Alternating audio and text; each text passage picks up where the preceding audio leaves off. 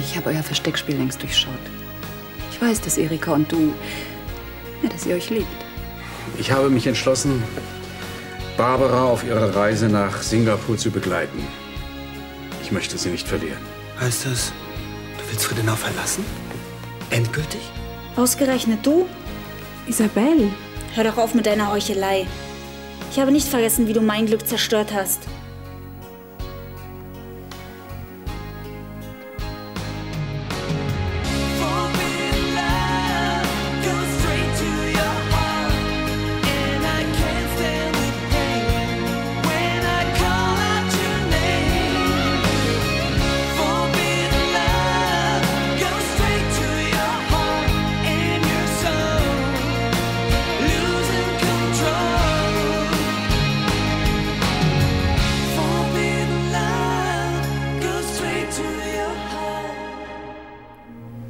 Wenn du Sebastian meinst. Du hast genau gewusst, was er mir bedeutet. Ich wollte dir nicht wehtun. Das wollte ich nie. Aber ihn, ihn wolltest du. Ja, aber erst nachdem zwischen euch Schluss war. Sebastian hat sich doch nur von mir getrennt, weil du dich ihm an den Hals geworfen hast. Du hast sie mir weggenommen. Nein, Isabel. Sebastian ist auf mich zugekommen. Er brauchte jemanden zum Reden, genau wie ich, als ich von deiner Krankheit erfahren habe. Die kam euch ja wie gerufen. Ja, ich musste auch erst lernen, damit umzugehen. Und weil es zu zweit besser geht, hast du ihn mir ausgespannt. Für dich hat es vielleicht so ausgesehen, aber es war nicht so. Und ach, das alles liegt doch schon so lange zurück. Seit wann weißt du es? Arno hat mir jetzt. Herr Brandner hat mir erzählt, dass ihn vor kurzem seine Verlobte verlassen hat wegen einer Frau. Und von mir weißt du, dass Erika mit ihm zusammen war. Ja, da war es doch klar, dass ihr beide ein Paar seid. Es tut mir leid, dass du es so erfahren hast. Nina, warum warst du nicht ehrlich zu mir? Ich konnte nicht. Ich wollte es dir die ganzen Jahre sagen, aber irgendwie habe ich den richtigen Moment verpasst. Ich hatte Angst. Angst, du könntest mich nicht mehr lieben, weil ich anders bin. Ach, so ein Unsinn. Ich liebe dich so, wie du bist.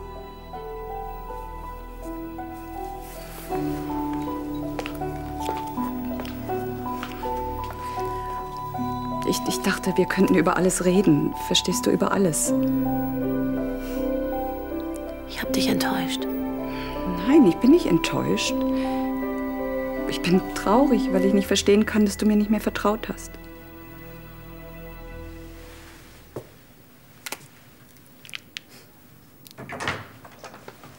Oh, entschuldige, störe ich?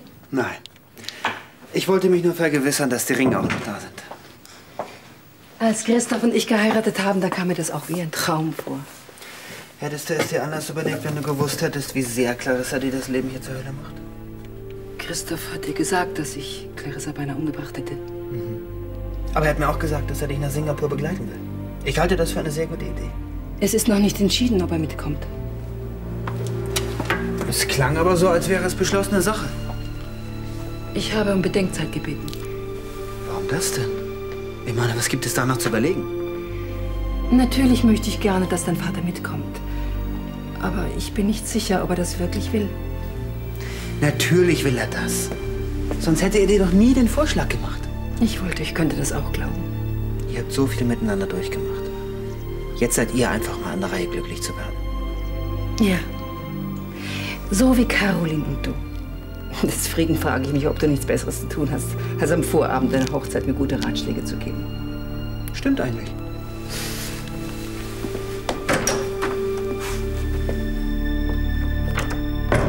Ich gebe ja zu, dass es ein unglücklicher Zeitpunkt war, sich in Sebastian zu verlieben. Aber ich wollte dir niemals wehtun, das musst du mir glauben. Ach, dir war doch schon immer egal, was aus mir wird. Oh, das ist nicht wahr, Isabel. Du hast immer nur an dich gedacht. Ich wollte immer, dass du gesund wirst. Dafür habe ich alles getan. Ich weiß, dass du meine Behandlung bezahlt hast. Aber du wolltest doch nur dein schlechtes Gewissen beruhigen. Ich habe dich durchschaut. Du verrennst dich dann etwas, Isabel. Ich liebe dich. Dann hast du eine seltsame Art, das zu zeigen. Sebastian hat sich für mich entschieden, als es längst aus war zwischen euch. Trotzdem habe ich dich hundertmal um Verzeihung gebeten. Warum gibst du nicht zu, dass es dir Spaß gemacht hat? Du hast es doch förmlich genossen, vor meinen Augen mit ihm rumzumachen. Wir waren frisch verliebt. Ich hatte ja keine Ahnung, wie sehr du noch an ihm hängst.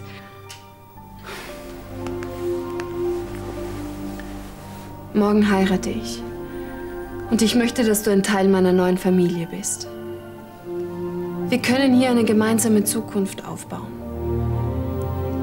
Du willst, dass ich hier wohne? Ja, bitte? Der Wagen für Frau Mohr ist vorgefahren. Ich komme.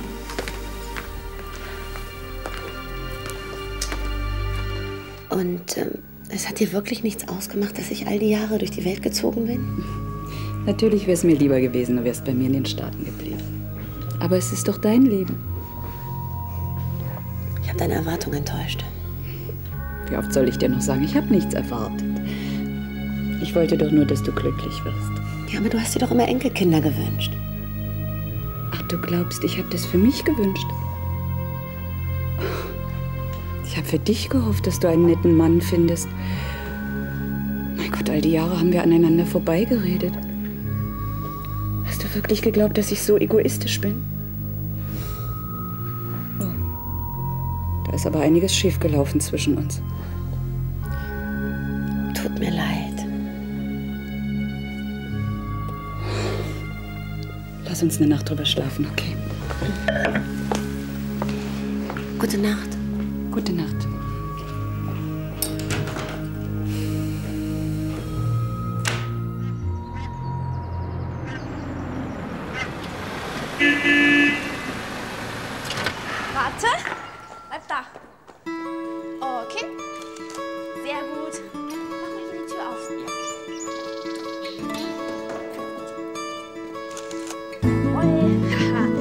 Langsam weiß ich, was die Leute am Fotografieren finden. Kaum hat man so ein Ding in der Hand, macht jeder, was man will.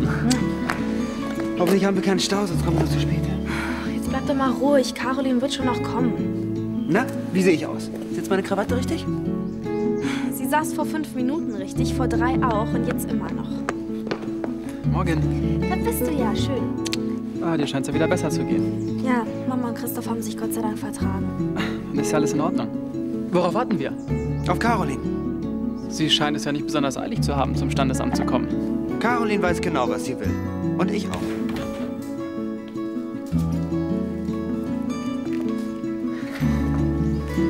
Toll siehst du aus. Ach, was sag ich? Hinreißend. Zauberhaft. Ich liebe dich. Ich dich auch. Wir fahren dann schon mal vor, ja? Ja, es ist auch Zeit, sonst kommen wir noch zu spät. Keine Sorge. Wir müssen nicht noch ins Krankenhaus. Ich habe Isabella einen Fahrer geschickt. Er bringt dir auch das Kleid mit. Sie kommt direkt ins Standesamt. Du bist wunderschön. Darf ich bitten? Probt ihr schon mal euren Auszug aus Friedenau? Ach nein, äh, Henning heiratet ja heute seine kleine Kunstdiebin. Was schenkst du den beiden eigentlich? Den Rutherford, den Horn oder gleich Friedenau? Es handelt sich wieder mal um ein Missverständnis. Du bekommst Friedenau nicht. Und ich begleite Barbara nach Singapur nicht wegen deiner leeren Drohungen, sondern weil sie meine Frau ist. Und weil ich bei ihr sein möchte. Du bist wieder mal ein wahrer Gentleman. Es ist gut, dass du das auch schon merkst. Mal sehen, wie lange es das junge Paar auf Friedenau aushalten wird. Ignoriere sie einfach.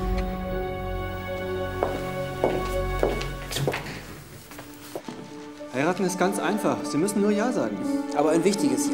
Ihre Verlobte ist doch bei Ihnen. Zum Glück. Sonst hätten Sie ja heute nichts zu tun. Stimmt. Entschuldige, wir hatten noch ein Parkplatzproblem. Hauptsache, ihr seid überhaupt da. Darf ich Sie gleich bitten, hier Platz zu nehmen? Danke. Nervös? Und wie? Ich auch. Ist es dir nicht mehr recht, dass wir in kleinem Kreis heiraten? Die kirchliche Trauung holen wir hier nach, sobald Isabel wieder ganz gesund ist. Wo ist die eigentlich? Hm, vielleicht steht sie im Stau. Ich ruf mal lieber in der Klinik an. Ach, sie wird schon kommen.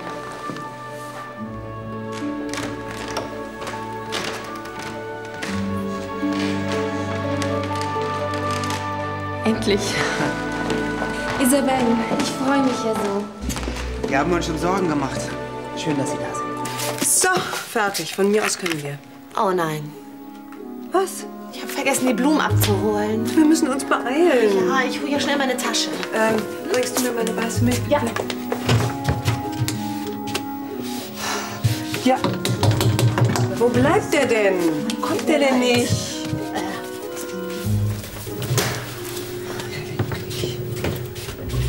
Vielleicht soll ich dann locken wieder. Morgen. Hallo?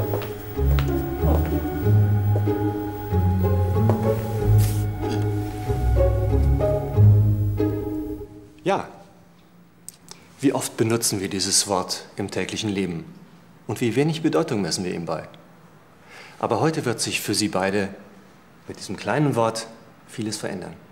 Sie versprechen, füreinander da zu sein, sich zu lieben, in guten wie in schlechten Tagen. Wie aufregend. In guten Tagen sollen die Trauzeugen Sie als Kamerad und Freund begleiten. In schlechten Tagen sollen sie Ihnen mit Rat und Tat zur Seite stehen. Sicher wird es nicht immer einfach sein, aber ich bin überzeugt, Sie schaffen es. Und nun kommen wir zum feierlichen Augenblick. Ich möchte Sie bitten, sich zu erheben.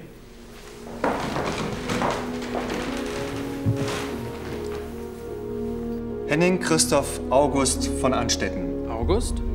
Ich frage Sie, wollen Sie die hier anwesende Caroline Sophie Moore zu Ihrer rechtmäßig angetrauten Frau nehmen? So antworten Sie mit Ja. Ja. Caroline Sophie Moore, wollen Sie den hier anwesenden Henning Christoph August von Anstetten zu Ihrem rechtmäßig angetrauten Mann nehmen? So antworten Sie mit Ja. Ja. Hiermit erkläre ich, dass Sie Kraftgesetzes rechtmäßig verbundene Eheleute sind. Herzlichen Glückwunsch. Danke. Dankeschön.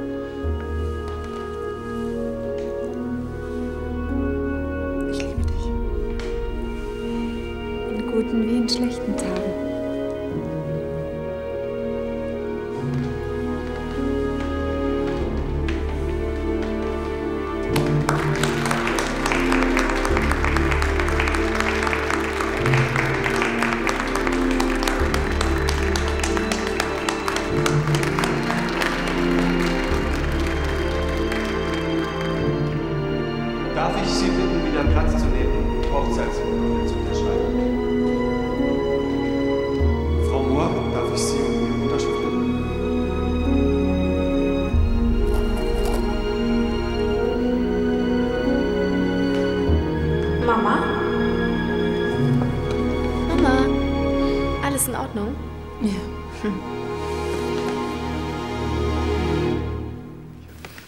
Herr Brandner? Danke.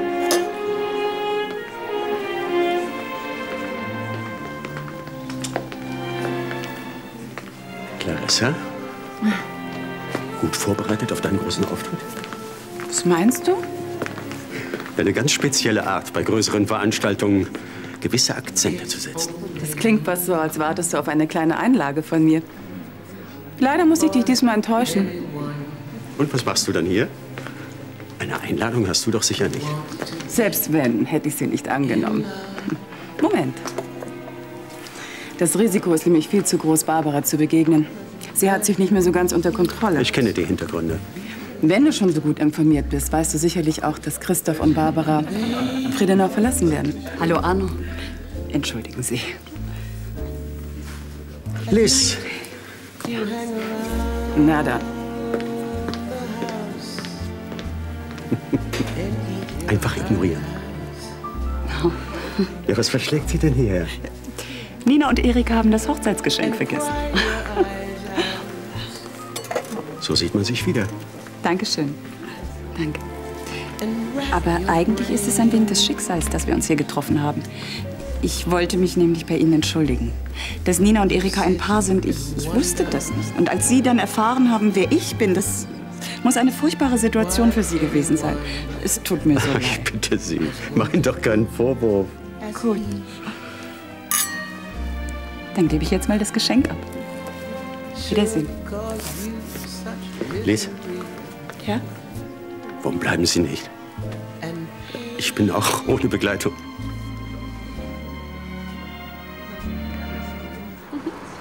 Hätte ich doch nur schon früher gemerkt, dass ich das Geschenk vergessen habe. Hast du aber nicht. Wir können es ja später vorbeibringen. Die beiden werden das schon verstehen. Ja, ganz mit leeren Händen stehen wir ja auch nicht da. Vielen Dank. Hm. Frau Mohr, Isabel, da Sie ja nun zur Familie gehören, ich bin der Christoph. Ich bin die Barbara. Herzlich willkommen. Danke. Dankeschön. Deine Vermittlung ist ja jetzt wohl nicht mehr nötig. Vielen Dank für den netten Empfang. Darf ich die Damen jetzt bitten, sich hier vorne zu versammeln? Meine Frau möchte den Brautstrauß werfen. Wenn du ihn fängst, kenne ich dich nicht mehr. Wer sagt denn, dass ich dich überhaupt heiraten würde? Na, was ist mit Ihnen? Nein, nein, ich möchte das Schicksal nicht unnötig herausfordern. So, alles bereit? Äh, Moment noch. Isabel. Du warst aber. Henning. Keine Widerrede. So, alles klar. So.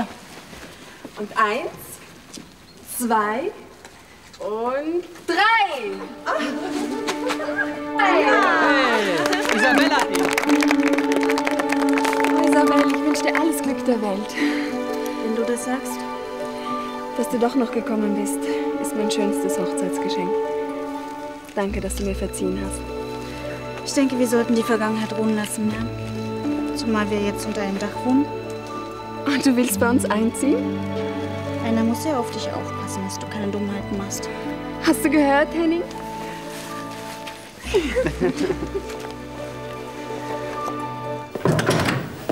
Christoph, kann ich dich kurz sprechen? Ja, natürlich. Worum geht's denn? Ach, Clarissa, sie hat vorhin eine Andeutung gemacht. Barbara und du, ihr wollt Friedenau verlassen? Barbara ist Clarissas Intrigen nicht gewachsen. Sie hat einfach keine Kraft mehr, sich zu wehren. Besonders jetzt. Clarissa hat Barbara so lange provoziert, bis. Also. Barbara hat Clarissa beinahe umgebracht. Barbara? Entschuldige, das kann ich mir nicht vorstellen. Doch, mir sind die Nerven durchgegangen. Clarissa hat es also geschafft. Bestünde dir die Möglichkeit, dass Barbara eines Tages zurückkommt? Ja, aber nur, wenn Clarissa hier nicht mehr wohnt. Und wenn das nicht mehr der Fall wäre, dann. Ich vertraue da ganz auf Henning. Er soll versuchen, während unserer Abwesenheit Clarissa ein neues Domizil schmackhaft zu machen, möglichst weit weg von Friedenau. Ja, aber wie soll. Wir haben da noch etwas in Hinterhand, aber bitte kein Wort zu Barbara. Sie glaubt, dass ich für immer hier weggehe. Christoph, hältst du es denn für richtig, Barbara in dem Glauben zu lassen? Natürlich würde ich ihr viel lieber alles sagen, aber in Barbaras Verfassung? Sie ist imstande und warnt Clarissa sogar noch. Nein, nein, es gibt keinen anderen Ausweg. Es ist die einzige Chance, sowohl Barbara als auch das Schloss zu behalten. So.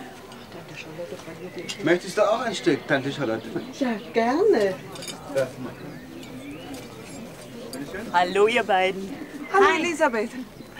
Äh, vielen Dank nochmal, dass Sie uns das Hochzeitsgeschenk mitgebracht haben. Ach, keine Ursache. Würde es Ihnen etwas ausmachen, Nina und mich einen Moment alleine zu lassen? Nein, nein, überhaupt nicht. Danke. Sollen wir jetzt reingehen? Ja, dann lass uns reingehen. Bis gleich. Ja. Meine Damen und Herren, liebe Gäste, ich möchte Sie auch im Namen meiner Frau hier auf Friedenau ganz herzlich willkommen heißen. Dies ist für uns ein ganz besonderer Tag, nicht nur für die Familie, sondern auch für das Brautpaar. Wir freuen uns sehr und es macht uns ganz glücklich, dass wir Caroline im Kreise der Familie begrüßen können. Lassen Sie uns anstoßen auf das junge Paar. Auf Caroline, Gräfin von Anstetten und auf meinen Sohn, der das Schloss im Sinne unserer Familie eines Tages weiterführen wird. Sehr zum Wohl.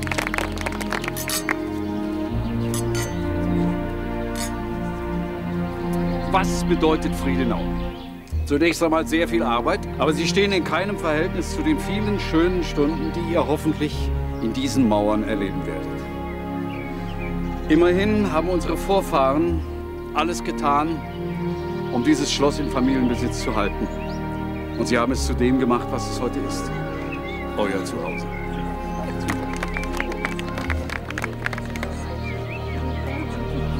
Es freut mich, dass du das Missverständnis mit Arno geklärt hast. Ach, das war kein Problem. Was mich viel mehr beschäftigt, das sind die Missverständnisse, die zwischen uns stehen. Ich wollte nie, dass du etwas tust, nur um mir zu gefallen. Aber das habe ich doch auch nicht. Das ist gut so. Ich bin froh, dass du dein Leben lebst, wie es dir gefällt, ohne dir von irgendjemandem Vorschriften machen zu lassen. Trotzdem hast du immer gehofft, dass deine Wünsche in Erfüllung gehen. Ich wollte verhindern, dass du den Rest deines Lebens alleine dastehst. So wie du? Deshalb habe ich immer wieder gesagt, du sollst dir jemanden suchen. Ach, egal. Wie dem auch immer sei, ich. Ich bin sehr, sehr froh, dass du in Erika jemanden gefunden hast, der dich liebt und der dir zur Seite steht.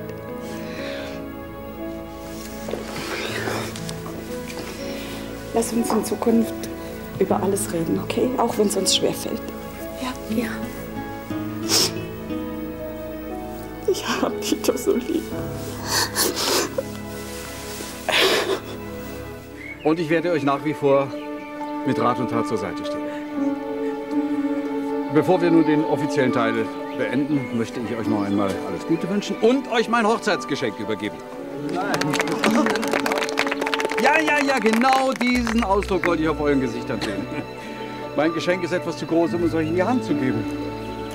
Aber es hat etwas mit diesem Schimmel zu tun. Dieses Tier ist eine Art Symbol. Ein Symbol für das neue Gestüt hier auf Friedenau. Und das schenke ich euch zur Hochzeit. Ist das dein Ernst? Ja. Danke. Danke. Ein schöneres Geschenk hättest du uns nicht machen können. Ja, also nun ist der offizielle Teil wirklich beendet. Ich wünsche uns allen einen wunderschönen Tag hier auf Friedenau. Äh, du entschuldigst uns kurz, wir sind gleich wieder da. Ja, ja, aber bleibt nicht so lange.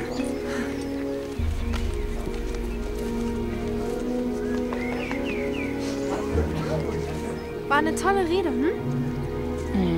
Hey, was ist denn los?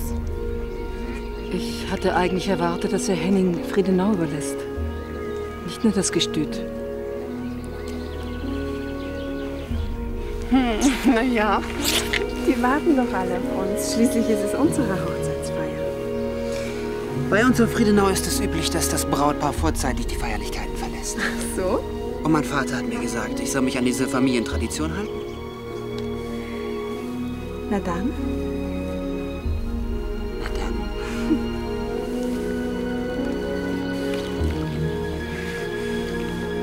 Wir sollten weiterfahren.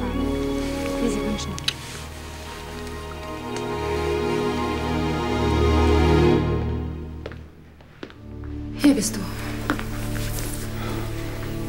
Nach der ganzen Aufregung wollte ich ein bisschen ausruhen. Eine schöne Geste, Henning das Gestüt zu schenken. Bei ihm ist es in besten Händen.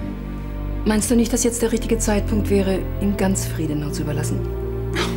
Du weißt, ich halte sehr viel von ihm, aber ob er wirklich schon so weit ist? Du brauchst mir nichts mehr vorzumachen. Ich weiß, dass du nach Singapur willst, um mich zu beruhigen. Aber von Friedenau wirst du dich nie lösen können. Doch, natürlich.